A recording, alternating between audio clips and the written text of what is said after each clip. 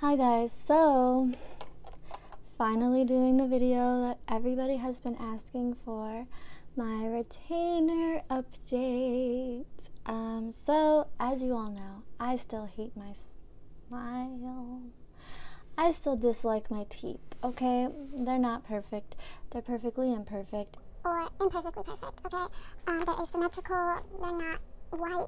Um, okay? I do have the removable retainers and I have the metal retainer at the top and then I have this temporary plastic retainer at the bottom which I just got on Saturday um, I believe it was March 20, 20 something I got it.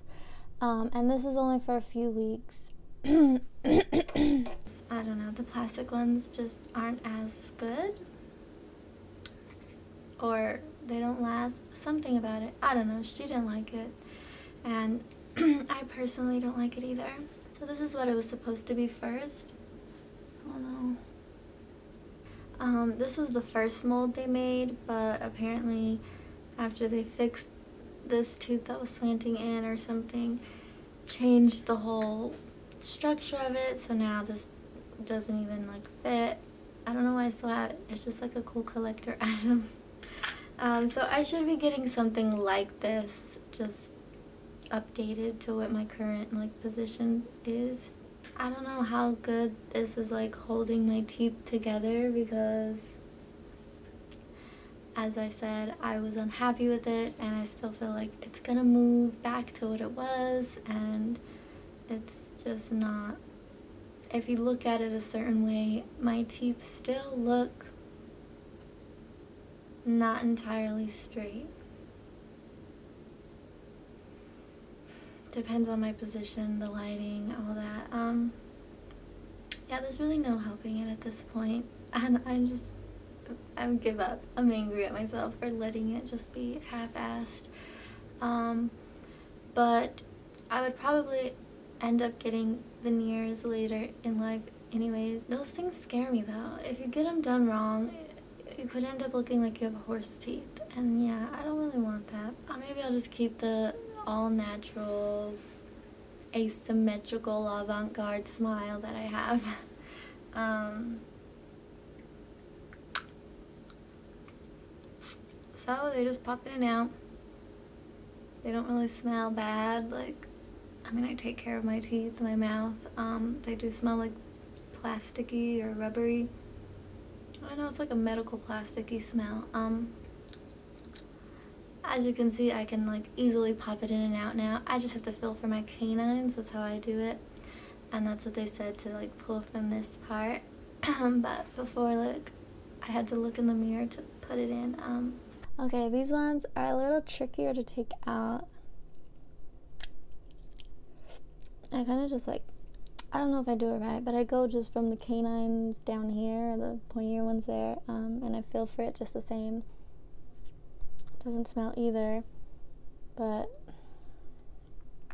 I feel like it already looks dirty. Like, I brush it, I wash it, like, I don't know how to keep these little nasty things clean. I do wash it with water. I'll use soap, like hand soap. I'll use toothpaste everything and like nothing is really helping. It gets all I don't even know the word. And then like the back here is not even like they cut it weird or it doesn't cover my back molar all the way. That's another thing I have to think about is um, my ortho keeps recommending me to tell my dentist to implant a molar, a bottom molar, well, two bottom molars on each side because I have one missing. Um, but if I do that, I feel like I'm gonna have to get a new retainer again. And hopefully the implants don't move my teeth. Uh, I don't know. It's so much to think about. Um, but yeah, that's that's the retainer update. I don't know what else you guys wanted to know. I'm gonna do some kind of ASMR for it, I guess, if you guys want to hear. You can kind of hear it.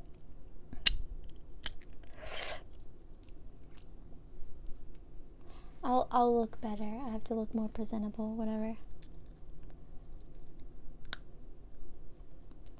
I just I don't like the way it feels on the top of my teeth when you bite down.